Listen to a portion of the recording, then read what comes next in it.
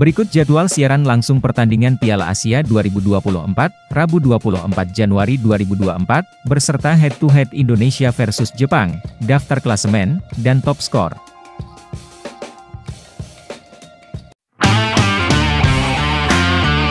Berikut ini jadwal pertandingan terakhir di fase grup, Timnas Indonesia di Piala Asia 2024.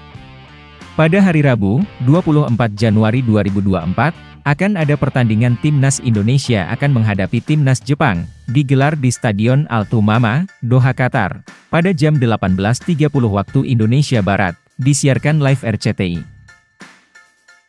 Berikut ini head-to-head -head Timnas Indonesia versus Timnas Jepang.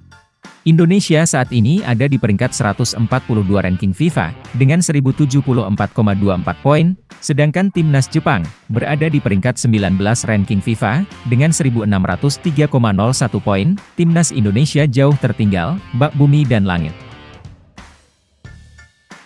Dari lima pertandingan terakhir timnas Indonesia, Indonesia hanya dapat meraih satu kali kemenangan, empat kali menelan kekalahan, sedangkan timnas Jepang dari lima pertandingan terakhirnya, timnas Jepang, empat kali meraih kemenangan, dan hanya satu kali menelan kekalahan, dari catatan tersebut, memang timnas Jepang, sangat diunggulkan.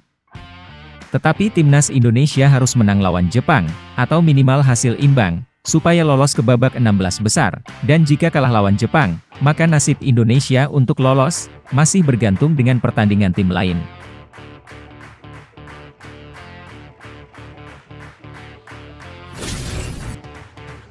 Berikut ini daftar klasemen terbaru, Piala Asia 2024.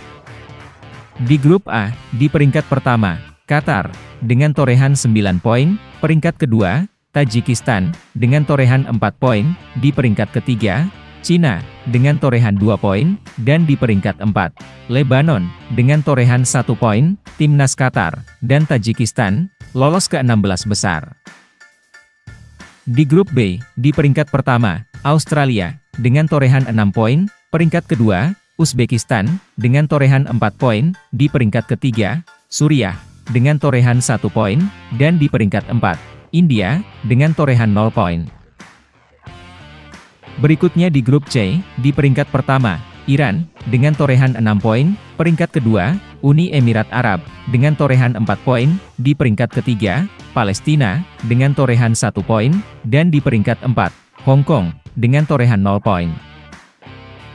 Di grup D, di peringkat pertama, Irak, dengan torehan 6 poin, peringkat kedua, Jepang, dengan torehan 3 poin, di peringkat ketiga, Indonesia, dengan torehan 3 poin, dan di peringkat 4, Vietnam, dengan torehan 0 poin. Di grup E, di peringkat pertama, Jordania, dengan torehan 4 poin, peringkat kedua, Korea Selatan, dengan torehan 4 poin, di peringkat ketiga, Bahrain, dengan torehan 3 poin, dan di peringkat 4, Malaysia, dengan torehan 0 poin. Dan yang terakhir di grup F, di peringkat pertama, Arab Saudi, dengan torehan 6 poin, peringkat kedua, Thailand, dengan torehan 4 poin, di peringkat ketiga, Oman, dengan torehan 1 poin, dan di peringkat 4, Kirgistan, dengan torehan 0 poin.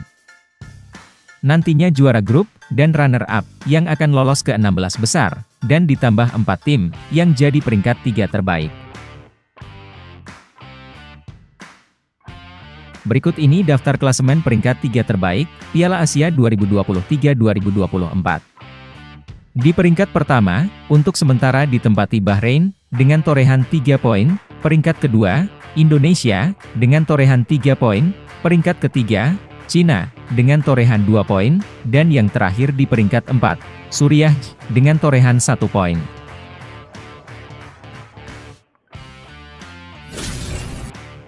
Berikut daftar top skor Piala Asia 2023-2024.